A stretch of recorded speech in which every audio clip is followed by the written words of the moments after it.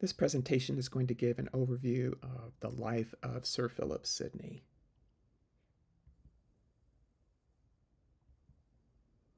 This is Philip Sidney's father, Sir Henry Sidney, and he was appointed Lord Deputy of Ireland when Sidney was about 11 years old and was directly involved in violent oppression of the Irish and confiscation of their land.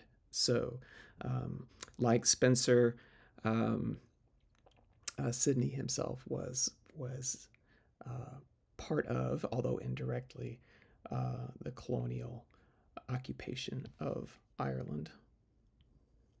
This is his mother, Mary Dudley, Lady Sidney. She was lady in waiting, basically a servant to Queen Elizabeth I. Uh, her brother, Robert Dudley, was a prominent and powerful courtier who held tremendous influence over the Queen. Uh, wanted to marry her, in fact, although he was never able to convince her to to uh, to get married. And Henry and Mary had seven children, and Philip Sidney was the eldest son.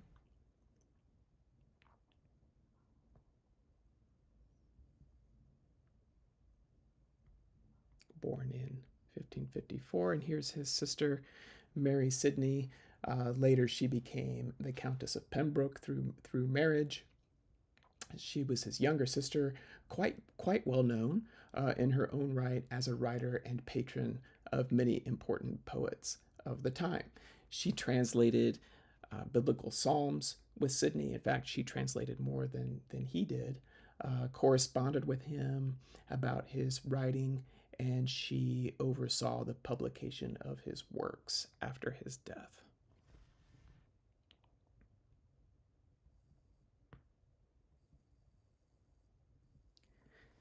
Sidney was born in 1554 at the manor of Penshurst in Kent.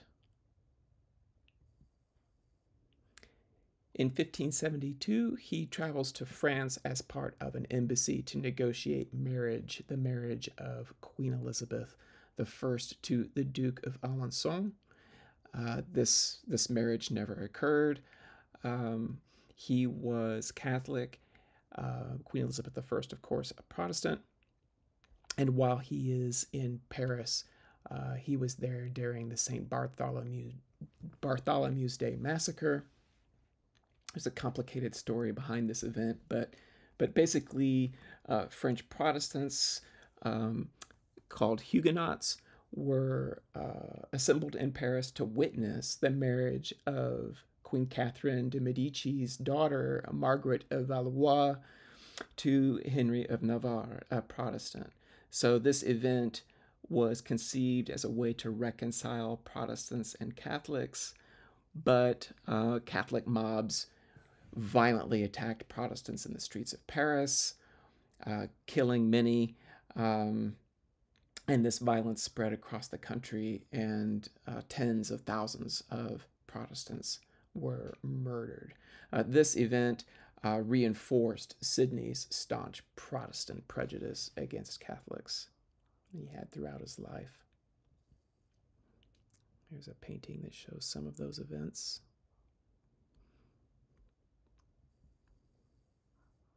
In 1575, Sidney meets and falls in love with 14 year old Penelope Devereux. He was 21 at the time. Uh, with the support of her father, uh, Penelope and Philip are engaged, but then her father dies in 1576, and those marriage plans uh, fall through. And Penelope would eventually wind up marrying a man named Robert Rich in 1581. Um, his failed courtship with Penelope is the subject of his sonnet sequence, Astrophil and Stella, and careful readers will notice sly references, um, biographical references throughout the poem. Like, for example, in Sonnet 37, uh, there are several references to the name Rich uh, in there. That's just one example, there are many. In 1577, Sidney's sister Mary weds Henry Herbert, uh, the second Earl of Pembroke.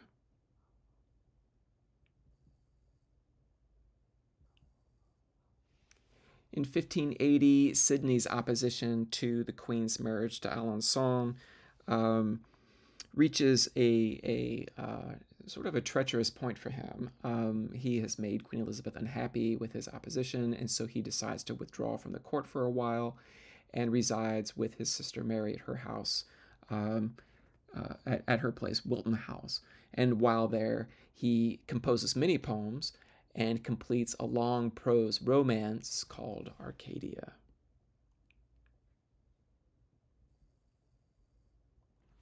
In 1583, he marries Frances Walsingham, uh, the daughter of the Queen's Secretary of State.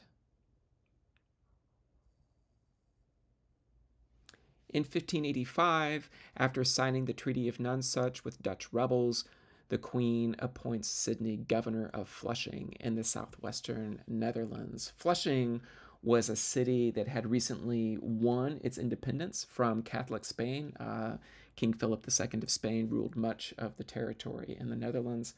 And as part of the Treaty of Nonsuch, which is named after the Tudor palace where the treaty was signed, England committed to establishing a garrison of soldiers to reinforce the Dutch rebels.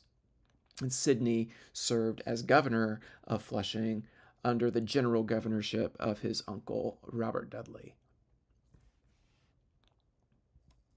Not long after his arrival in Flushing, um, Sidney is shot in the leg fighting against Spanish forces at the Battle of Zutphen.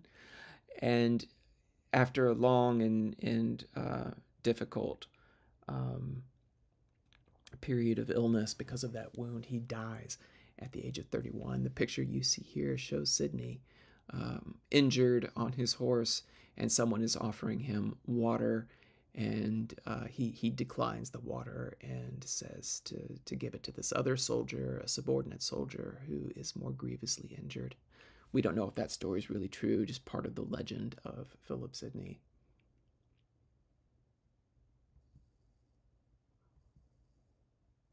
After his death, none of his work was actually published in his lifetime. After his death, uh, Sidney's uh, revisions to his Arcadia, which he had written, uh, which he had completed in the early 1580s, appears in print for the first time uh, in 1590. Here's the title page for it. And then in 1591, we get the first print edition of his sonnet sequence, Astrophil and Stella.